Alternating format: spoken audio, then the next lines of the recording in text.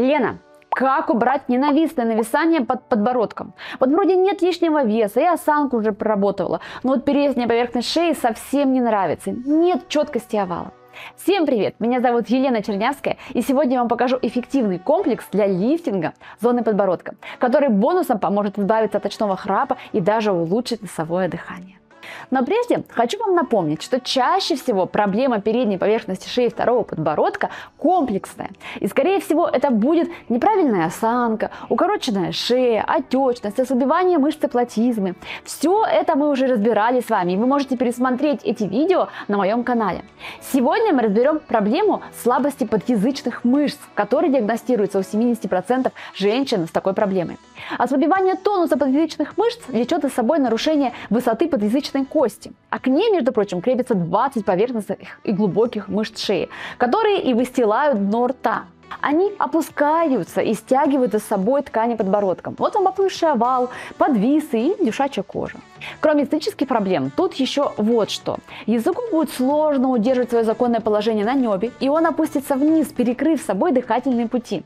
А это, в первую очередь, нарушение носового дыхания, ну и тот же ночной храп. Но хорошая новость в том, что это обычные мышцы, и вернуть тонус можно с помощью регулярных упражнений, которые я вам сейчас покажу.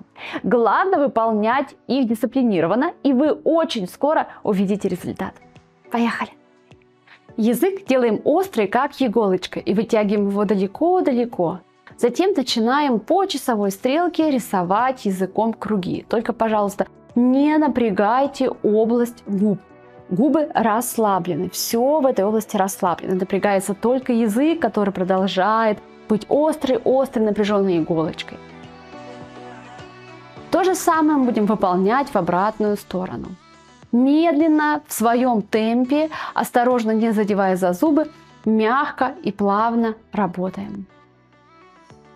Дальше прикрываем рот и кладем кончик языка на верхнее небо. По небному шву вперед и назад от зубов в области горла мы выполняем медленные плавные поглаживания. То есть мы как будто бы выглаживаем языком а, область небного шва. Движения плотные должны то же самое мы выполняем зигзагообразными движениями от одного зуба к другому, начиная от горла и переходя к передним зубам.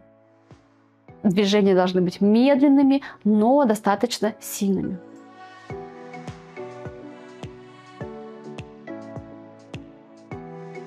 Затем мы присасываем весь язык к небу начинаем всем языком проглаживать небо слева направо, от левых коренных зубов к правым. При этом придерживайте нижнюю челюсть, чтобы она у вас не двигалась и не ходила за языком. Должен работать только язык всем своим тельцем.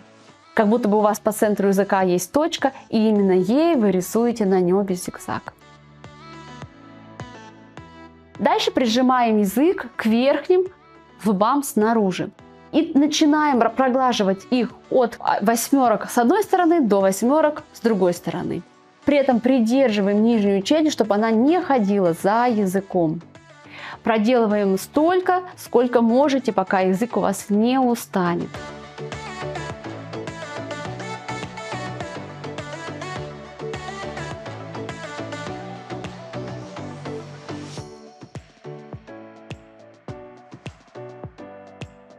Дальше снова присосем язык верхнему небу и закрепим его там, как будто бы присоску. Начинаем оттягивать вниз нижнюю челюсть, стараясь удержать язык полностью на верхнем небе, не теряя ощущения присоски.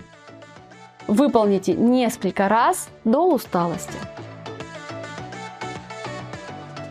Достаточно простой комплекс, и его выполнение не требует никакой специальной подготовки, ковриков, одежды. Вы можете выполнять в любое время, удобном для вас месте, в любом формате. А с вами была я, Елена Чернявская. Еще больше полезных видео вы можете найти в моих соцсетях.